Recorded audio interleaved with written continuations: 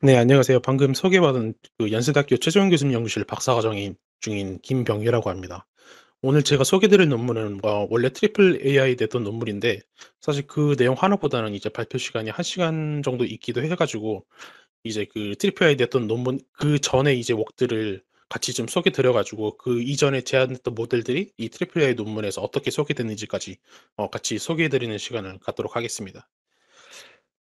어 그래서 제가 지금 궁극적으로 저희가 어 우리가 뭔가 임무를 시키면은 그 임무를 수행할 수 있는 로봇을 개발하고자 하는 겁니다, 궁극적인 목표는. 그래서 예를 들어서 왼쪽처럼 어 명령어가 주어졌으면은 어 뭐 보니까 이제 뭔가 뭐 걸레 같은 거를 이제 뭐 클린 해 가지고 뭐 위에다 올려놔라 요런 명령어가 있으면 뭐 로봇이 그거를 이해를 하고 이제 오른쪽처럼 이제 환경을 둘러보면서 네 왼쪽 돌아보면 이제 저렇게 뭐가 걸레 같은 걸 찾으면은 이제 다시 픽업을 하고 이 픽업을 하면은 이제 어 비디오가 좀 느리네. 오른쪽 가 가지고 네 이렇게 시 싱크대에서 이제 좀 씻고 그래서 이때 클린하게 됐으면은 다시 위에다 올려 놓는 이런 일련의 과정들을 자동적으로 시행할 수 있는 그런 에이전트를 개발하는 게 이제 저희가 어 풀고자 하는 문제입니다.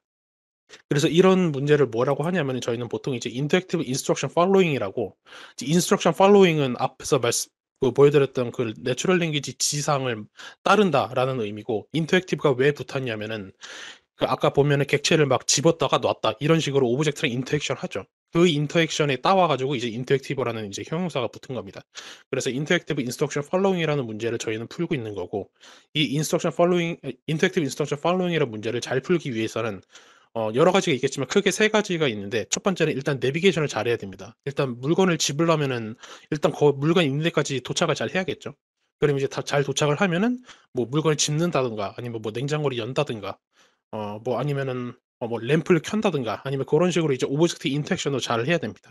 그 다음에 마지막으로 그러면 내비게이션이랑 interaction이랑 그냥 각자 잘하면 알아서 매직처럼 태스크를 잘 수행하냐 그것도 아닌 것이 어 그런 내비게이션이나 object interaction을 순차적으로 잘 어 플랜을 세워 가지고 실행을 해야 됩니다. 예를 들어서 이제 앞에서처럼 뭔가 cloth을 뭔가 clean 해 가지고 이제 countertop에다 올려 놔야 되는데 뭐 만약에 clean을 안 하고 먼저 그냥 더러운 그 cloth을 그냥 올려 놓고선 갑자기 다른 object로 뭐 clean을 한다든가 그러면은 태스크에 전혀 안 맞는 그런 상황이 발생을 하겠죠. 각각 내비게이션 object interaction을 잘 한다고 해도. 예 그런 부분에 있어서 interacter interactive reasoning도 어 상당히 중요한 요소다라고 이제 말씀을 드릴 수가 있겠습니다. 그러면은 이 interactive instruction following이라는 문제를 해결하려면 이제 뭔가 benchmark가 필요한데 저희는 이런 것들을 위해서 이제 ALFRED라는 benchmark를 사용을 하고 있습니다. 이게 20 년도 CVPR에 이제 제안됐던 benchmark고요. 앞에서 보여드렸던 예시도 어 이 benchmark에서 가져온 것으로 이제 보시면 되겠습니다. 그래서 이 benchmark가 어 평가하고자 하는 바는 에이전트한테 natural language instruction을 줍니다. 앞에서처럼 이제 "뭔가를 해라."라고 이제 지시사항을 주고요. 지금 영상에서도 뭐 나오듯이 저런 식으로 이제 instruction이 주어집니다. 위에 goal하고 instruction 저2 개가 다 주어지는 거고요. 그 다음에 에이전트가 instruction을 받으면은 이제 3D 환경에서 이제 spawn이 될 텐데 에이전트가 3D 환경에 spawn이 되면은 egocentric RGB 그러니까 1 인칭 시점 이 이미지 딱1 장만 입력으로 받고요. 그 natural language instruction이랑 1 인칭 이미지 딱 하나만 가지고 어 태스크를 수행하기 위해서 내가 지금 당장 취해야 하는 그 액션이 뭐냐. 만약에 obje 만약에 object랑 interaction을 하려면은 이 RGB 화면상에서 object가 어느 위치에 있냐를 나타내는 마스크까지 prediction을 해야 되는 겁니다. 그러니까 결과적으로는 어 액션 시퀀스랑 마스크 시퀀스를 generation 하는 거죠. 근데 이게 여기서도 제한 츠 베이스라인을 제한하기는 했는데 휴먼 퍼포먼스는 사람은 이런 어 가정에 관련된 일을 시키면 거의 한 90% 정도로 거의 많이 성공을 합니다. 근데 제한된 베이스라인을 보면 0.39% 거든요. 그 0.39가 아니라 0.93% 여서 사실 1%도 안 되는 성능이어서 굉장히 못한다는 걸 알 수가 있습니다.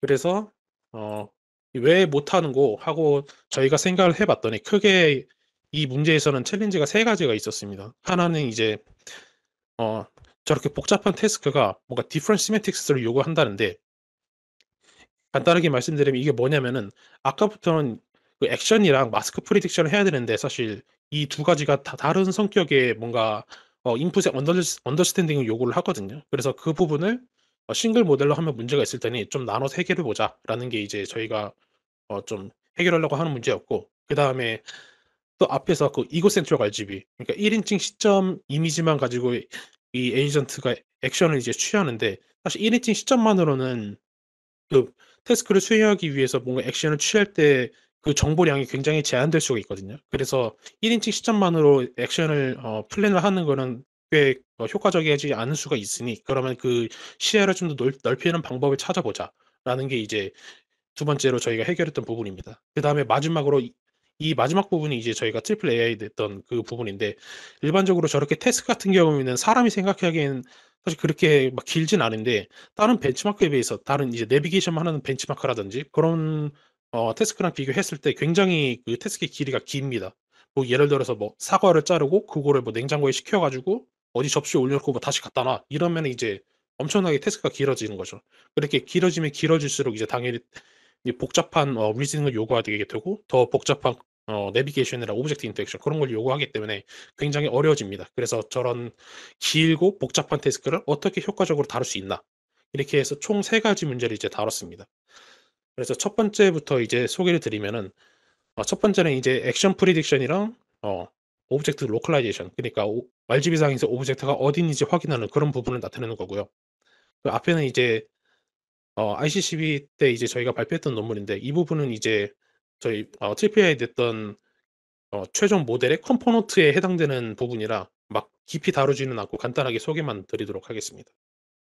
이게 왜 문제가 되냐면은 아까 액션 planning이랑 object localization 그러니까 RGB 상에서 object가 어디 있는지 찾아야 되는데 사실 이 둘은 막 동일한 그런 인풋의 understanding을 요구하지는 않습니다. 예를 들어서 이제 액션 planning 같은 경우에는 어 화면이 주어지면은 뭐 에이전트가 앞으로 가야 하는지 왼쪽으로 가야 하는지 그런 것들을 정해야 되는데 보통 이런 액션 planning을 할 때는 이 화면 전반적인 그런 under understanding이 필요합니다. 내가 지금 이 화면을 보니 뭐 내가 코너에 몰려 있다거나 아니면은 뭔가 복도 같은 데에 서 있다거나 고런 거를 인지해야 되기 때문에 상대로 좀 전반적인 글로벌한 어 비주얼 어 그런 understanding이 필요한 반면에 object localization 같은 경우에는 어 각 픽셀마다 이 object가 아 이 픽셀이 어떤 object class에 해당하는지 알아야 되기 때문에 굉장히 그 픽셀 레벨 수준의 엄청 아주 fine grain한 디테일한 understan- understanding이 필요하거든요.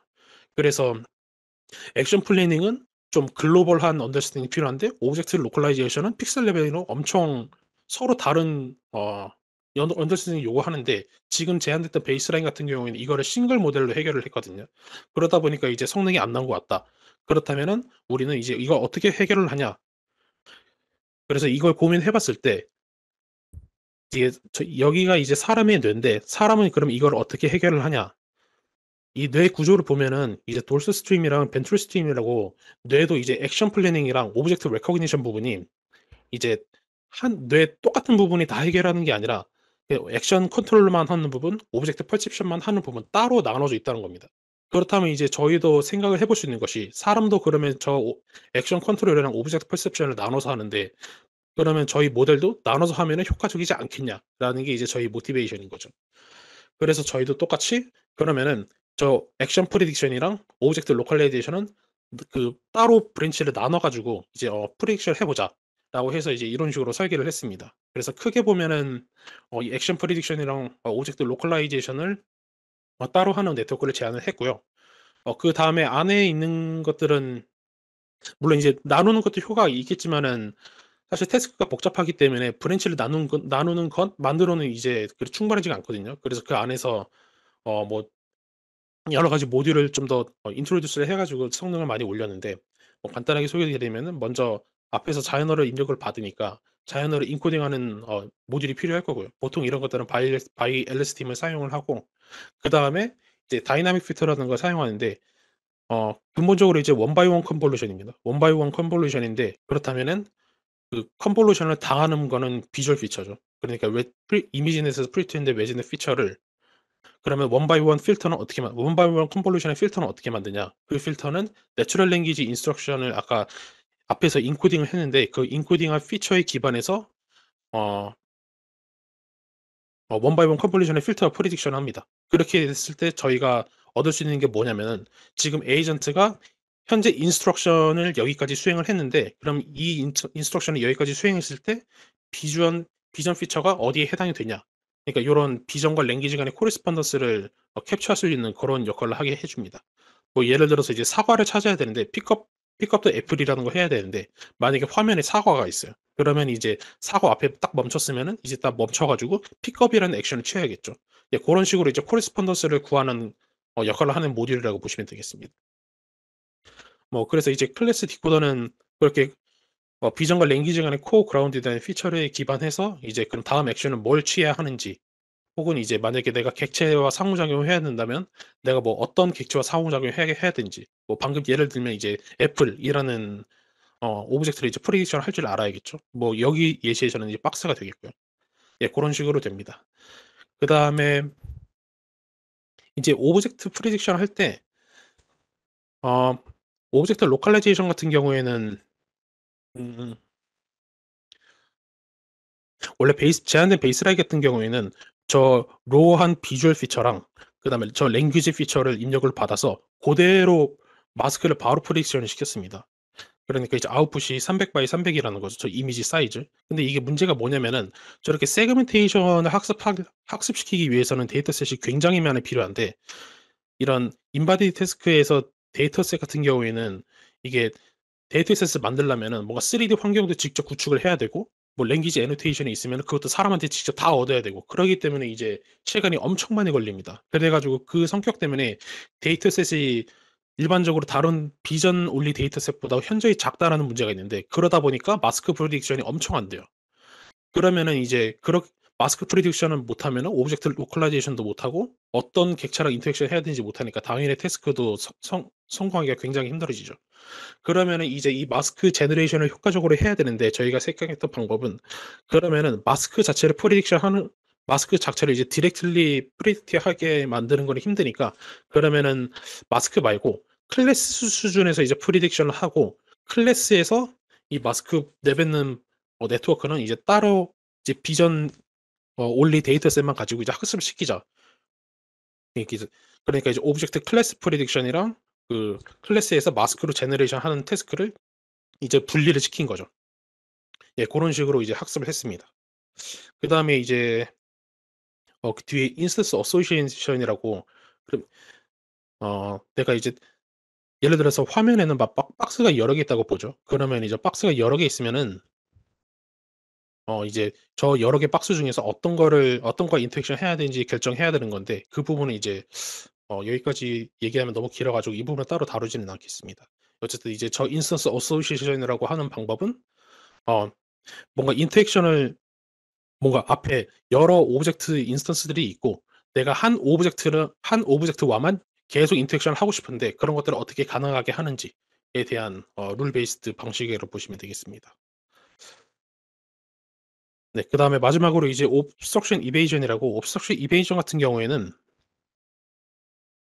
어 에이전트가 종종 내비게이션 하면은 어딘가에 막 부딪히거나 막 그런 경우가 발생을 하거든요. 근데 부딪히면은 에이전트가 imitation learning 그러니까 이제 어떤 태스크를 학습을 어떻게 하는지 학습을 할 때 항상 성공 사례만 보고 배워요. 그러다 보니까 에이전트가 저렇게 어딘가 부딪힌다거나 그러면은 부딪힌 거에 대해서 어떻게 해야 어떻게 대처를 해야 되는지 배운 적이 없기 때문에 저렇게 계속 어딘가에 부딪히고 그러다가 그냥 그냥 끝나게 됩니다. 그래서 이런 것들을 좀 이제 방지하고자 만약에 저렇게 뭐 어딘가에 부딪혔다. 아니면 뭔가 액션을 취했는데 뭔가 화면상에 변화가 없다 하면 이제 그 액션을 실패했다라고 이제 간주를 하고 그 상황을 이제 탈피하기 위해서 이제 best action이나 second best action을 취해 가지고 어 그런 obstruction 상황을 이제 넘어가는 그런 방법을 또 제안을 했습니다. 예 그래서 성능을 보여드리기 앞서서 저희가 여기서 이제 metric을 간단하게 설명하고 넘어가는 게 좋을 것 같은데 metric이 생각보다 직관적입니다. 어 metric은 이제 가장 많이 쓰는 게 success rate고요. success rate는 전체 task 중에서 에이전트가 그 task를 얼마나 성공을 했냐 요거죠. 그러니까 뭐 10 개의 task를 시켰는데 5 개가 성공했다. 그러면 task success rate는 50%. 예 고렇게 보시면 되겠고 goal condition success rate는 어 쉽게 말하면 약간 부분 점수까지 주는 개념입니다. 이게 뭐냐면은 어 뭔가 "task가 성공했다."라고 하면은 이제 그 task가 성공하는 조건을 이제 저희가 정의를 해야 되는데 보통 task 하나당 조건이 하나 이상이 달라붙어 있어요. 근데 저 success rate를 계산할 때는 이 컨디션 여러 개의 condition을 모두 다 만족해야만 이제 성공이라고 정의를 하는데 여기서는 이제 뭐한어 뭐 어 4개 중에서 한 2 개를 맞췄다 하면은 이제 success rate에서는 그냥 빵점인데 여기서는 한 0.5점 정도 더더 주는 거죠. 예 고런 metric이라고 보시면 되겠습니다. 어 그리고 path length weighted 그러니까 PLW라고 이제 여기 스코어가 돼 있는데 요거는 이제 어 에이전트의 efficiency를 재는 metric이고요. 이게 task를 수행하면서 사실 이 시간 제한이 무제한이면은 언젠가는 task를 성공할 수가 있거든요. 근데 사실 저희가 task를 뭐 시켰는데 뭐 어뭐 예를 들어서 방가 방에 가 가지고 리모컨을 가져와 시켰는데 막5 시간 있다 가져오고 막 아무도 이런 걸 원하지는 않잖아요. 뭔가 뭐 시키면 그래도 가능한 빨리빨리 이제 해 줘야 되는데 그 빨리빨리 할 얼마나 빨리빨리 할 수 있냐를 이제 재는 metric이 이 PLW 스코어라고 이제 보시면 되겠습니다. 네. 그러면 이제 표를 표로 넘어와서 보시면은 저 빨간색으로 쳐져 있는 부분이 앞서 소개 드렸던 그 어 action planning이랑 object localization을 따로 이제 네트워크를 이제 나눠서 이제 어 연산을 하고 그 안에서 이제 뭐 vision과 language 간의 correspondence를 캡처를 한다든지 아니면 뭐 어 mask prediction을 뭐 object class prediction이랑 class에서 mask generation 하는 부분을 뭐 따로 나눈다든지 뭐 obstruction evasion이라든지 그런 것들을 다 합친 모델의 이제 성능을 나타내는 거고요. 위에서 보시면은 baseline에서 저희가 이제 개선을 한 거기 때문에 baseline이랑 비교를 해 보면 아 성능이 거의 엄청 어 많이 향상이 된 걸 보실 수가 있습니다. 아 여기서 이제 task로 표현된 부분이 이제 success rate에 해당이 됩니다. 이게 goal cond라고 이제 표현된 부분이 이제 어 goal condition success rate에 해당이 됩니다. 예 이런 식으로 이제 성 이렇게 어 action planning이랑 object localization 이렇게 나눠서 했더니 어 굉장히 어 task를 효율적으로 이제 accomplish를 하더라라는 걸 이제 저희가 발견을 했고 그 다음에 이제 두 번째로 해야 되는 것이 지금 지금까지는 에이전트가 egocentric 그러니까 그 좁은 화면만 가지고 이제 action을 prediction을 했단 말이죠. 근데 그러면은 굉장히 안 보입니다. 그1 인칭 시점이 생각보다 굉장히 작아 가지고 어 막 이상한 데로도 막 돌아다니고 그러다 보니까 실패 가능성도 높은데 이제 저희가 그거를 이제 그 뷰를 확장해서 에이전트한테 prediction 하도록 하면은 성능이 얼마나 올라갈까라는 걸 이제 저희가 확인을 해 봤고 이제 CVPR 워크숍 때 어 저희가 참가를 해 가지고 어 수상을 하 하기도 했습니다. 그래서 이 문제가 뭐였냐? egocentric이 굉장히 좁다. 그럼 그럼 그 limited field of view 그러니까 이제 egocentric 그 field of view가 너무 좁으면은 무슨 문제가 발생하냐? 그 environment를 understanding 하는데 굉장히 제한적이라는 거죠. 예를 들어서 이제 필드가 좁다 보니까 쪼끔만 어 바로 오른쪽에 이제 막어뭐 예를 들어 토마토를 집어야 되는데 마 바로 오른쪽에 토마토가 있음에도 불구하고 시야가 좁아 가지고 이제 어 달리는 경주마의 시야처럼 굉장히 좁아 가지고 이제 못 보고 그냥 지나치는 경우가 굉장히 많다라는 거죠. 그래서 이제 그러면은 그게 좁은 뷰가 문제면은 어뭐어 옆에 뷰랑 뭐 상하 좌우 그런 것들을 다 좀 더 같이 봐 가지고 그5 개의 뷰를 종합해 가지고 어 뭐 action을 planning을 하면은 어 '그런 문제점들을 좀 개선할 수 있지 않겠냐.'라는 게 이제 저희의 motivation이었고 이거에 대한. 예.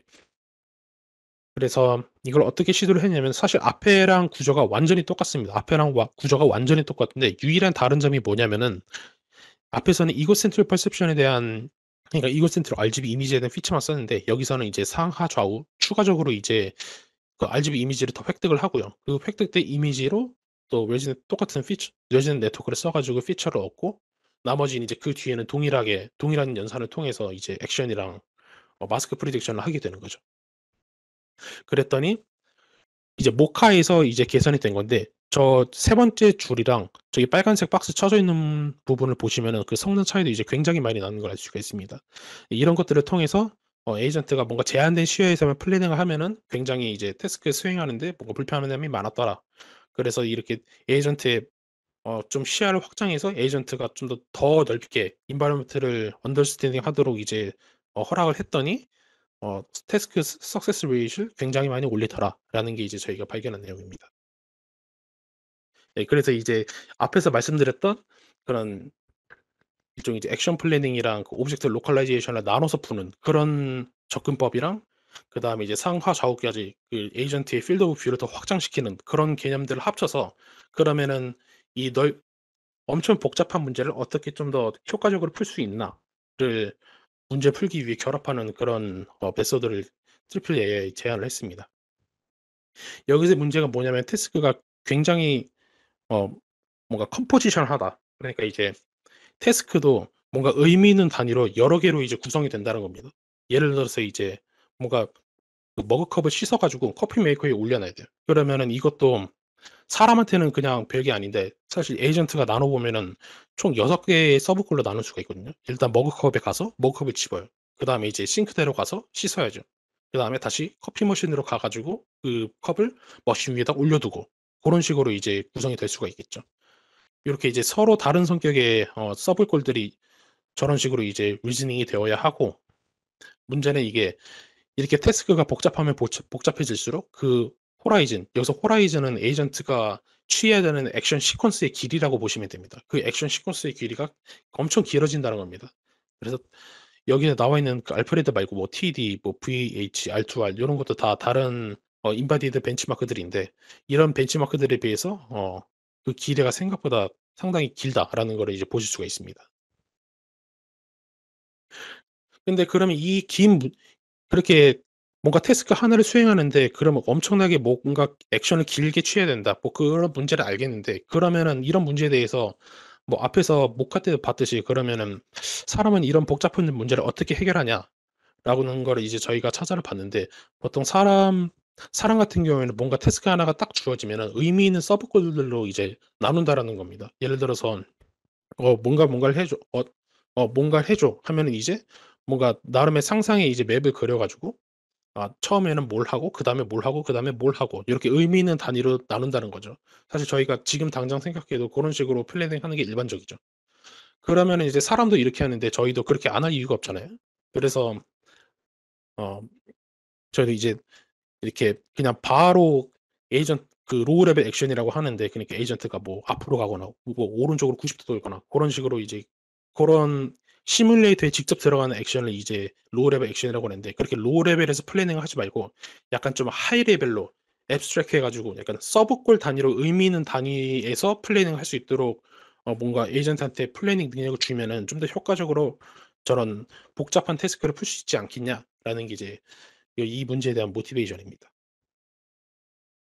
그래서 어떻게 했냐? 기존 work들 같은 경우는 저렇게 막 오른쪽으로 틀고 직진하고, 직진하고 막 물건 집고 요렇게 low level 액션들을 input을 받으면 그대로 prediction 했는데 요런 식으로 하지 말고 저렇게 아래처럼 어 뭔가 task 하나가 주어지면은 그거를 의미 있는 여러 subgoal들을 일단 먼저 prediction을 하고 각각 이제 subgoal들에 대해서 그 subgoal에 특화된 네트워크를 이제 call 해 가지고 수행시키게 하면은 좀 더 잘 풀지 잘 풀지 않겠냐 해서 이제 설계한 그런 네트워크입니다. 어 그래서 어 이 부분은 이제 이해를 돕기 위해서 간 간단하게 예시를 포함한 그런 피계고요. 그래서 구체적으로 이제 여기가 이제 모델 아키텍처에 해당하는 부분인데 우선 앞에서는 어 instruction도 입 입력으로 받고요. 그 다음에 앞에서 말씀드린 그 surrounding perception 그러니까 앞에만 보는 게 아니라 상하 좌우까지 다 보는 그런 입력이 이제 주어지게 됩니다. 입력이 주어지고 일단은 먼저 instruction을 받으면은 뭔가 의미 있는 단위로 나눠야 되잖아요. 그 의미 있는 단위로 나누는 부분이 이 policy composition controller에 해당 해당 하는 부분이고 이게 instruction을 입력으로 받으면은 이제 뭐 어 뭐 픽업이라든지 go to location 그다음에 뭐 물건을 데운다든지 어디로 다시 움직인다든지 그렇게 약간 high level에서의 subgoal을 이제 먼저 planning을 하게 됩니다. 그다음에 high level에서 이제 먼저 planning을 하게 되고 그러면은 이제 이 subgoal의 성격이 이 벤치마크에서는 크게 두 가지로 나뉘거든요. 내비게이션이냐 아니면은 object interaction이냐. 그래서 이제 어 그 내비게이션을 전문으로 하는 네트워크 그 다음에 각각 각 종류의 object interaction을 해 해 각 종류의 object interaction을 어 전문적으로 수행하는 모듈. 고런 식으로 이제 나눠서 이제 네트워크를 또 따로 학습을 시킵니다. 그리고 이 master policy는 네트워크 아 내비게이션을 전문적으로 하는 네트워크에 해당이 되고 어 이 master policy는 앞에서 어 저 egocentric 1 인칭이랑 상하 좌우 view까지 다 합친 그런 확장된 시야에 기반해서 어 그런 어 저 내비게이션 액션을 이제 prediction을 하게 됩니다.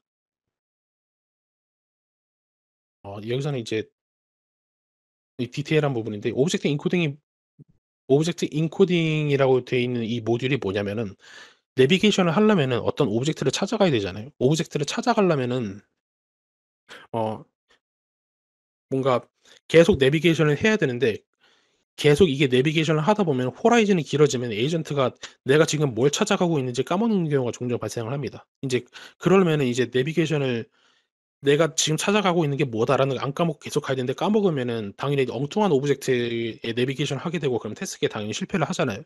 이제 그런 것들을 방지하고자 내가 지금 필요한 object는 어 뭐 뭐 여기에서는 이제 potato다 아니면 뭐 microwave다 이런 식으로 이제 explicit하게 prediction 해 가지고 계속 네트워크에 집어 넣어 주는 겁니다. 그렇게 해서 '내가 지금 찾아가야 되는 object는 뭐다.'라는 걸 이제 계속 상기시켜 주는 고런 모듈이라고 보시면 되겠습니다.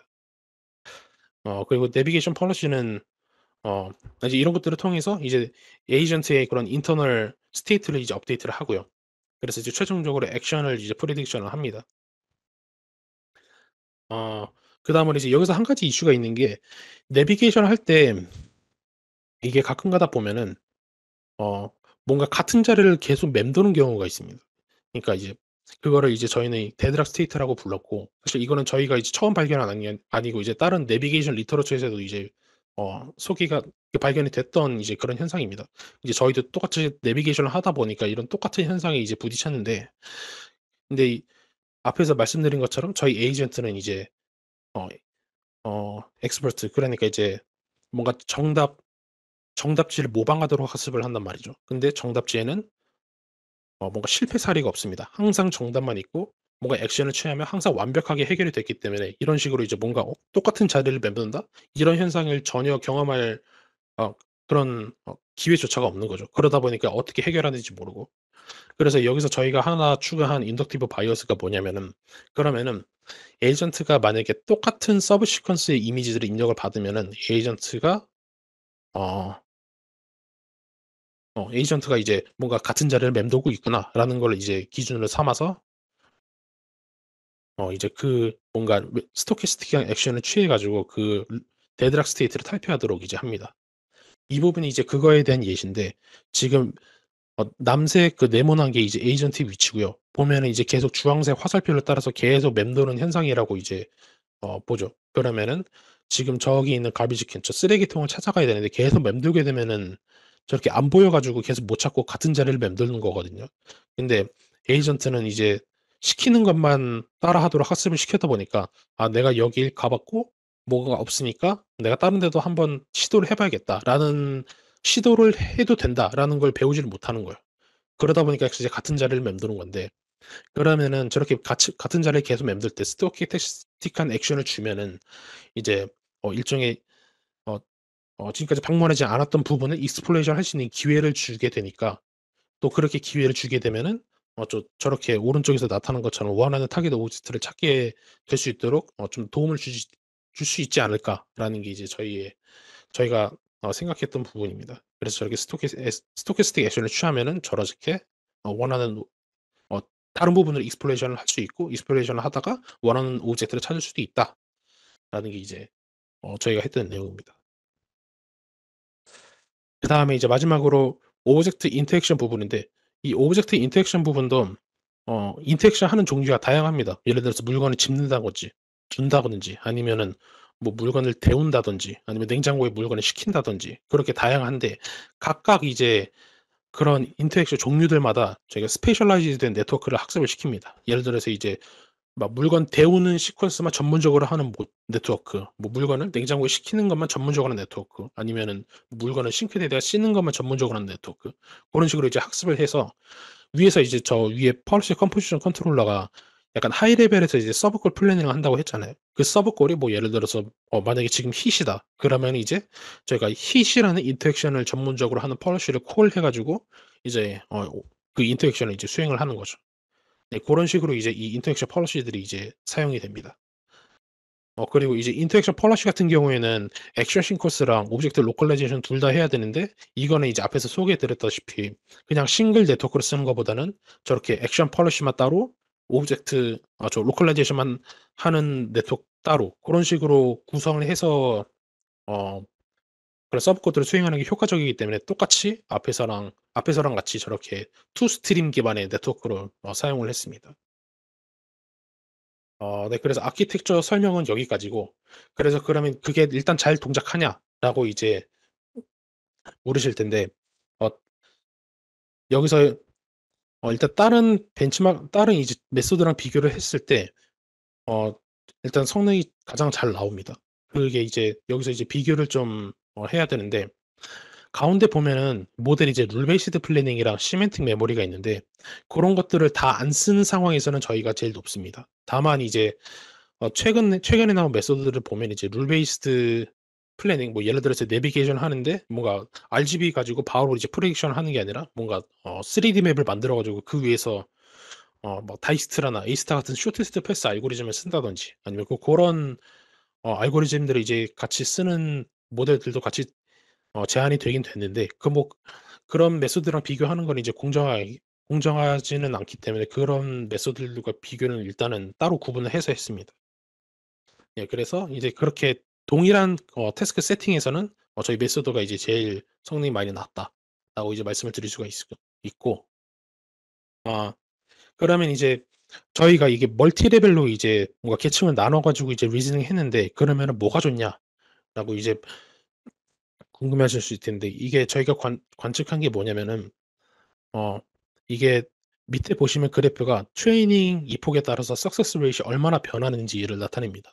보시면은 어 빨간색이 이제 flat 그니까 맨 앞에서 봤던 뭔가 low level action을 directly하게 이제 prediction 하는 고런 네트워크고 multi level이 이제 저희처럼 뭔가 계층을 1번 high level 상에서의 sub goal로 1번 이제 prediction을 쭉 planning을 하고 그 다음에 각 sub goal에 대해서 뭔가 전문적으로 하는 네트워크를 call해 가지고 뭐 세부적으로 이제 어 task를 수행을 하고 고런 식으로 어 계층으로 나눠서 하는 모델인데 비교를 하면은 어 트레이닝 epoch이 저희 multi level을 썼을 때 훨씬 덜 트레이닝 시켰는데 rate이 더 높습니다. 그래서 이제 multi level을 multi level로 이제 저렇게 트레이닝 시켰더니 어 트레이닝 타임은 줄어드는데 성공은 더 잘하더라 라는 걸 이제 저희가 발견을 했습니다. 그 다음에 또 하나 장점이 뭐냐면은 이제 task를 수행해야 되는데 저희가 efficiency가 중요하다고 했잖아요. 뭔가 task를 시켰는데 막 몇 시간 걸리고 그런 건 아무도 안 쓸 거기 때문에 뭔가 빨리빨리 해야 되는데 그러면 그 빨리빨리 얼마나 잘해 어 뭐 수행하냐를 확인할 수 있는 지표 중에 하나가 그럼 에이전트가 뭔가 task를 수행하는데 task를 수행하는데 뭔가 취한 action의 길이가 평균 어느 정도 되냐를 비교하면 되겠죠. 그래서 그런 것들을 이제 비교를 해 봤는데 multi level이랑 이제 flat 에이전트 그러니까 플 여기서 flat은 이제 저렇게 계층적으로 안 하고 그냥 바로 low level action을 prediction 하는 그런 네트워크입니다. 그 flat 에이전트랑 multi level이랑 비교해 봤을 때 모든 task 타입에 대해서 어 multi level 에이전트가 좀 더 성능 어 그 성공을 더 많이 하는데 그 길이도 짧다 요거죠. 그러다 보니까 어 뭔가 task를 뭔가 똑같은 task를 수행해도 좀 더 덜 스텝을 취한다. 그러니까 좀더 efficient하게 task를 수행한다. 라고 이제 보시면 되겠습니다. 어 여기서부터는 이제 ablation인데 사실 ablation인데 다 어 설명드리는 건 그렇게 영양가 있진 않을 것 같고 여기서 궁극적으로 말하고자 하는 거는 각각의 이제 저희가 오 앞에서 object encoding module이라든지 아니면 이제 어 뭐 flat 에이전트처럼 그대 고대로 이제 level action을 prediction을 하는 게 아니라 어 어 뭔가 이제 계층을 나눠 가지고 하면은 이게 성능이 더 오르냐 마냐 고런 것도 이제 저희가 제안을 했고 여러 가지 저희가 component를 제안을 했는데 그런 각 component들이 어 ablation을 해 봤을 때 저렇게 유의미하게 떨어지더라. 그래서 각각의 component들이 의미가 있다라는 게 이제 이 ablation table에서 봐 저희가 말씀드리고자 하는 바입니다. 네 그래서 보시면은 어 아 ablation 하나하나씩 했을 때 ablation 안 된 저 full model이랑 비교해 봤을 때 어 accuracy가 이제 눈에 띄게 떨어지는 걸 확인하실 수가 있고요. 뭐 그럼 당연하게도 2 개씩 빼면은 뭐 당연히 더 떨어지겠죠. 네. 예 고런 거를 이제 보실 수가 있습니다. 그 다음에 또 어1 가지 더 있다면은 앞에서 그 loop escape module 그러니까 deadlock state에 빠져 가지고 에이전트가 계속 같은 자리에 맴돈다고 그랬잖아요. 그런 것들을 이제 만약에 스토캐스 stochastic action을 취해 가지고 뭔가 탈피를 하면은 어 얼마나 성능에 영향을 미치냐라는 걸 이제 확인을 해 봤는데 보면은 success rate 자체는 그렇게 크게 어 도움이 안 됩니다. 근데 스 이게 PLWSR 그러니까 PLWSR이 어 똑같은 어 task를 수행하는데 얼마나 그 time step을 덜 썼냐 요거잖아요. 근데 그 숫자를 보면은 굉장히 올라가는 걸 볼 수가 있죠. 저희가 그룹 escape 모듈을 썼을 때. 그러니까 액시 stochastic action을 취하는 거를. 그렇게 취했더니 저렇게 efficiency가 많이 올라가더라라는 거를 확인을 했습니다. 어 이제 끝으로 이제 그러니까 qualitative example 하나를 보여드리고 이제 마치면 좋을 것 같은데 multi level을 안 쓴 경우에는 동영상이 길어 가지고 제가 좀 빨리 보여드릴게요. 하면은 일단 보면은 이제 엉뚱한 데서 막 어 막 물건을 두려고 하고 하는 걸 보실 수가 있죠, 여기서도. 네 그리고 또 여기서 put 하려고 하는데 뭐 전혀 가까이 가지도 않았고 아니면 저 저게 어떤 object인지도 모르고 그런 상황이죠.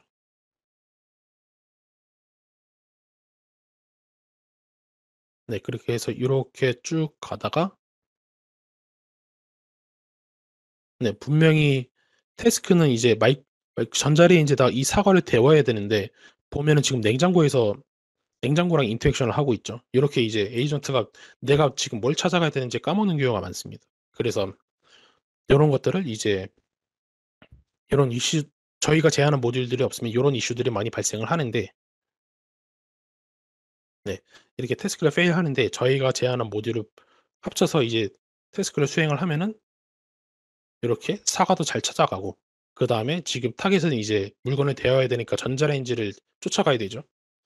이제 전자레인지를 이제 성공적으로 요렇게 찾아가서 이제 물건을 데우는 네 물건을 데우는 것까지 이제 성공적으로 완수를 하고 그다음에 끝으로 여기서 이제 싱크대에 두라고 했으니까 싱크대에 두는 것까지 해서 성공적으로 이제 어 태스크를 수행하는 걸 이제 보실 수가 있습니다.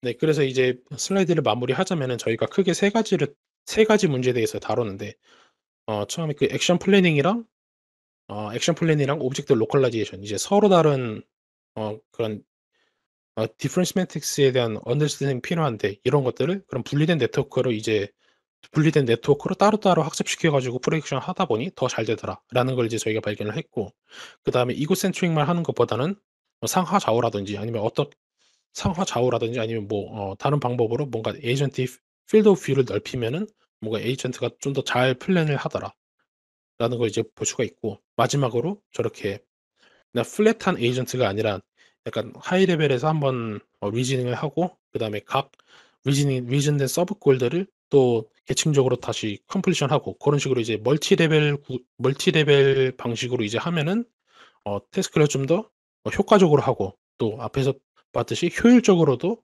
어 어 completion 할 수 있더라. 트레이닝 되기도 하고 completion도 할 수 있더라라는 걸 이제 저희가 확인을 했습니다.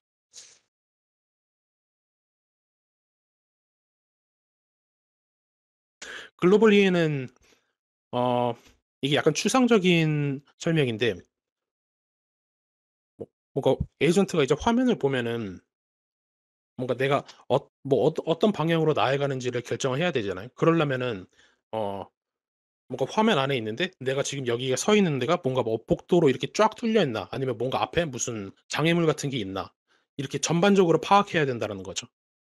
그 그런 의미에서 이제 글로벌한 어 이해라고 이제 말씀을 드린 겁니다. 아 네. 스토캐스틱 액션이 뭐냐면은 스토캐스틱 액션은 뭐 쉽게 말하면 랜덤 액션입니다. 그러니까 뭔가 에이전트가 계속 뺑뺑이 뭔가 돌고 있다. 그러면은 그냥 랜덤 액션을 취하는 거예요.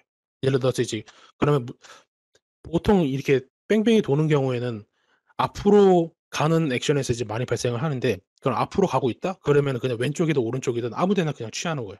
그러면은 이제 그 부분은 이제 안 에이전트가 안 가 봤을 확률이 높기 때문에 자동적으로 이제 exploration 하는 그런 효과를 이제 줄 수 있는 거죠. 예 그런 의미에서 이제 stochastic action이라고 말씀드렸습니다. 모델을 2 개로 하면 GPU로 각각 하나요? 아 그 그렇진 않습니다. 그 GPU 물론 그렇게 설계할 수도 있는데 저희 같은 경우에는 그냥 싱글 GPU에 모델 2개다 올려서 했습니다. 그렇게 해도 뭐 막 엄청 느려진다거나 그러지는 않았습니다.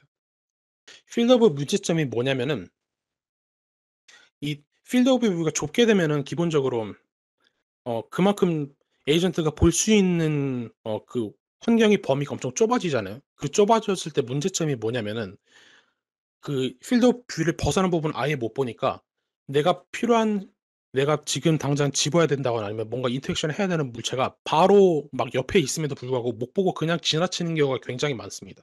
그렇게 되면 문제가 뭐냐? 뭐 내비게이션을 못하면 영영 못 찾을 수도 있고 설령 찾을 수 있다고 해도 이미 1번쭉 지났기 때문에 그리고 거기 있는 거기에 object 있다라는 걸 모르기 때문에 어딘가 멀리 또 돌고 다시 돌아와야 되니까 굉장히 모델이 inefficient해지죠. 네 그래서 그런 문제점들이 있고 그럼 그런 문제를 이제 방지하고자 지금 저희는 어 그럼 간단하게 그냥 상 상하 좌우처럼 이제 어 앞만 보는 게 아니라 좀 왼쪽 오른쪽도 보고 좀 더 해 가지고 어 뭔가 field of view 자체를 좀 넓힌 어 그런 해결법입니다. 사실 해결법은 좀 여기서는 단순하죠. 물론 좌우만 보는 게 아니라 어 뭐 아예 360도 파노라마 이미지를 볼 수도 있고 예 고런 식으로 이제 해결법은 다양할 것 같습니다. 근데 기본적으로 해결법은 어 그냥 이미지를 더 취득했다 다양한 방향에서. 네 그렇게 말씀드릴 것 같습니다. 어 사실 임 embodied 쪽이 뭔가 다양한 분야에서 어 여 여러 분야에서 이제 막 종합돼 가지고 뭔가 하나의 시스템을 만드는 분야거든요. 뭐 예를 들어서 이 비전도 있고 language도 있고 아니면 비전과 language 간의 correspondence도 있고 아니면 아예 다른 뭐 robotics도 있고 있고 이렇게 다양한 분야에서 많이 오는데 어 아무래도 이제 연구하는 부 부분이 이제 다른 분들도 이제 다양하다 보니까 이런 부분에서 어 좀 한 번씩 관심을 가지셔 가지고 어 만약에 자신이 하고 있는 연구랑 여기에 같이 어 생각을 해 해서 같이 코웍을 하면은 어 좋지 않을까 싶습니다.